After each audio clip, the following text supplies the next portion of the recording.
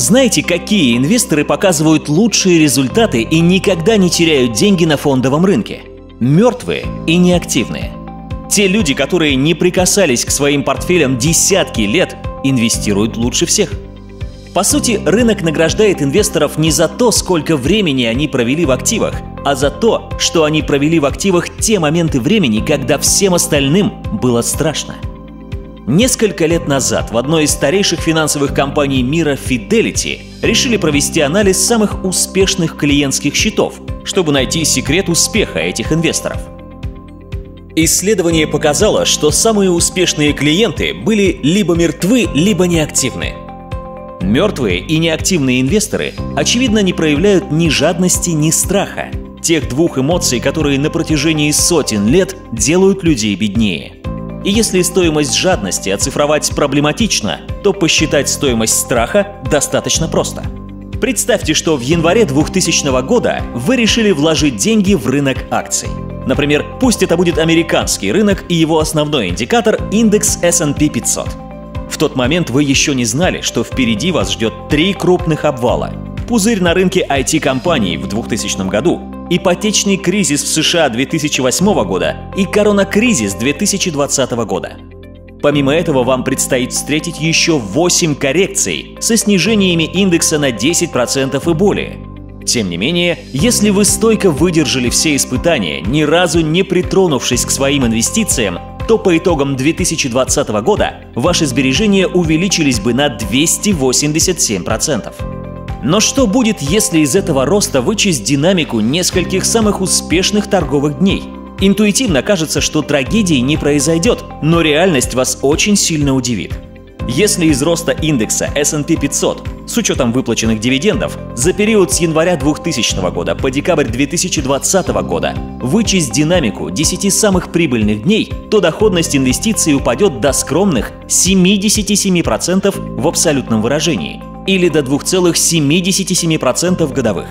А если вычесть 25 дней, то вместо дохода уже будет убыток в размере 16%. На этом графике приведены те самые 10 самых важных дней. Их объединяет два существенных факта. Во-первых, все они приходятся на кризисные периоды, а не на моменты эйфории на рынке. Первые 7 дней – ипотечный кризис в США. Оставшиеся три – обвал рынков из-за карантина и пандемии COVID-19. Во-вторых, абсолютно во всех случаях за день до бурного роста рынки падали – то есть именно в те дни, когда многие инвесторы продавали свои активы в надежде спасти их от дальнейшего падения, они на самом деле наоборот потенциально ухудшали свой конечный финансовый результат.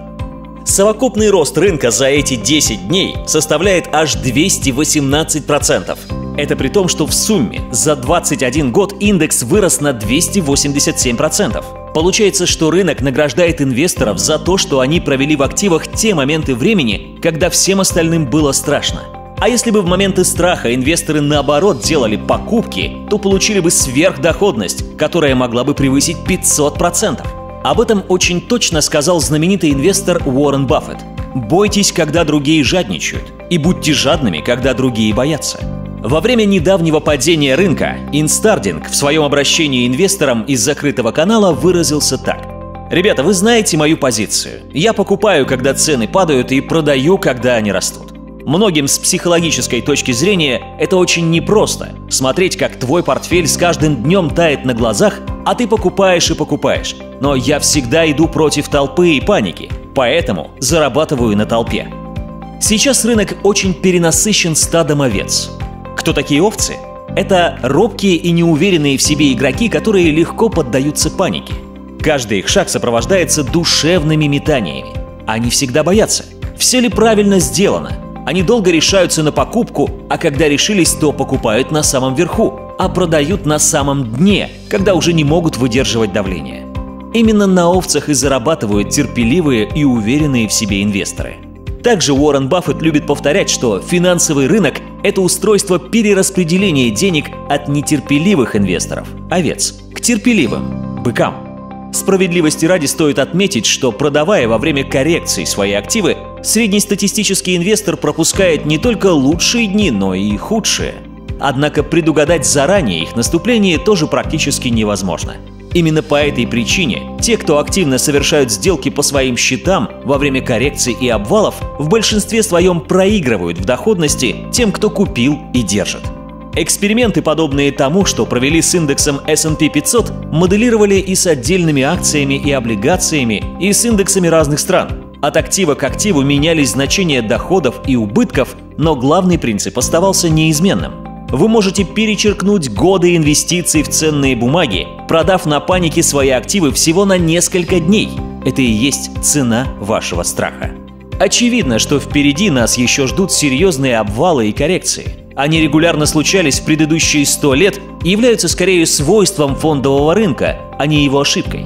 В те моменты, когда вам будет особенно страшно за свои сбережения, подумайте о том, как на вашем месте поступили бы мертвые или неактивные инвесторы. Ведь они, если верить цифрам и исследованию Fidelity, как раз и входят в число самых успешных.